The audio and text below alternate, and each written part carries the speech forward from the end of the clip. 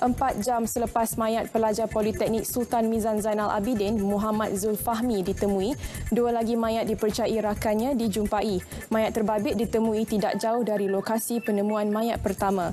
Kedua-duanya dibawa ke Hospital Dungun bagi proses pengecaman. Terdahulu, mayat Muhammad Zulfahmi ditemui kira-kira pukul 7.30 pagi. Jasadnya dijumpai orang awam kira-kira 7 km dari pangkalan hadapan Carilamat, Pantai Surah.